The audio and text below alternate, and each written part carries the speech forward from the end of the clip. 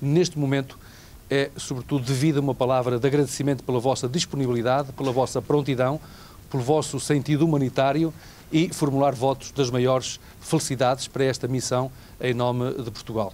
Esta força de 53 homens e mulheres que partem agora para a Turquia numa manifestação de solidariedade e esta eh, palavra de agradecimento é minha naturalmente, mas é também palavra de agradecimento do meu colega, o Ministro dos Negócios Estrangeiros da Turquia, Mevlut Cavusoglu, com quem acabo de falar e que se mostrou muito sensibilizado por este gesto muito significativo da parte portuguesa.